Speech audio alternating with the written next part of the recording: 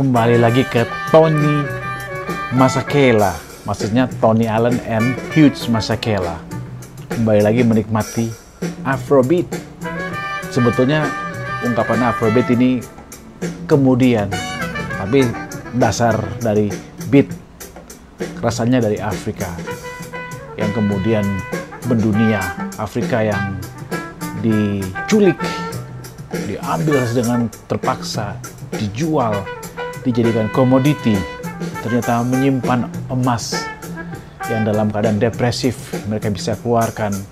Dan ternyata bagian dasar yang paling bawah dari manusia adalah bergembira merindukan kegembiraan merindukan kampung halaman.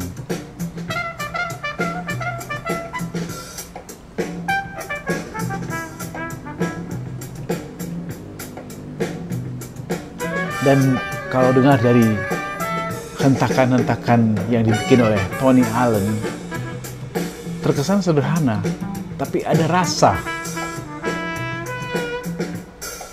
pukulannya yang sepertinya sekenanya tapi sebetulnya ada rasa Woo.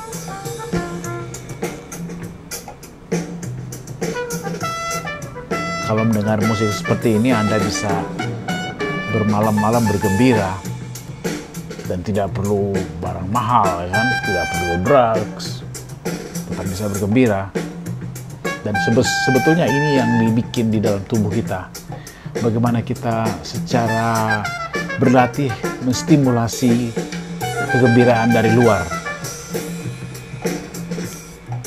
Dum dum dum dum dum dum.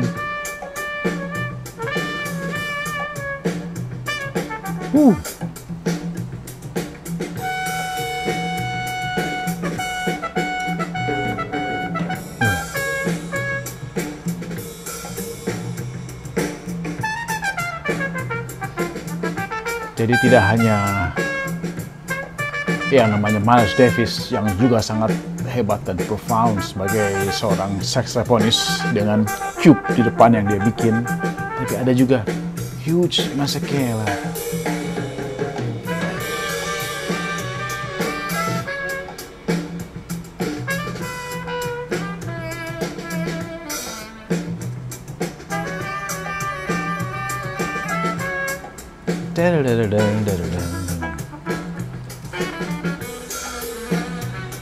Masekela.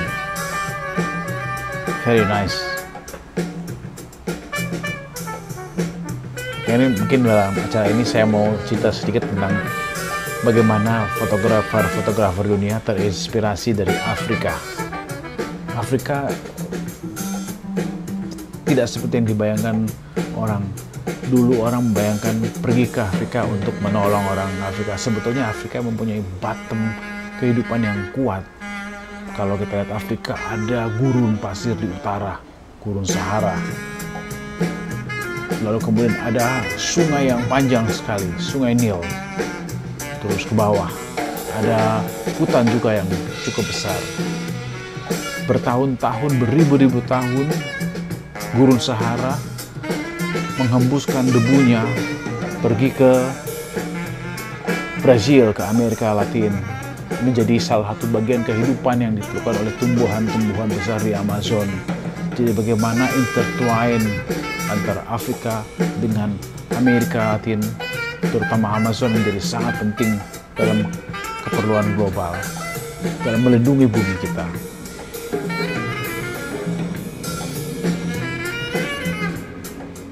Tapi kemudian kita melihat Afrika menjadi sangat terjajah.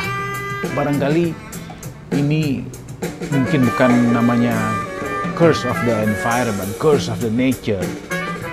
Orang yang hidup secukupnya, seadanya dengan alam yang berlimpah, kaget ketika dia buka, dia melihat ada kapal asing datang berlayar. Mereka yang datang menjadi pedagang di awalnya, lalu kemudian menjadi penjajah mereka. Mereka yang innocent melihat dunia terperangkap. Mereka tidak tahu lagi bahwa mereka punya perlindungan, mereka punya hak, mereka punya kebebasan diambil begitu saja. Itu yang terjadi dengan Afrika, lalu kemudian Afrika dibawa ke Eropa, dibawa ke Amerika, menjadi budak. Ketika orang-orang Eropa datang, mereka mengira ini hanya orang-orang yang belum punya adat istiadat, belum punya kebiasaan, orang yang tidak bisa diatur sehingga ditangkap dan dibelenggu. Itu barangkali keterjebikan natural yang sangat memberatkan dan menyedihkan.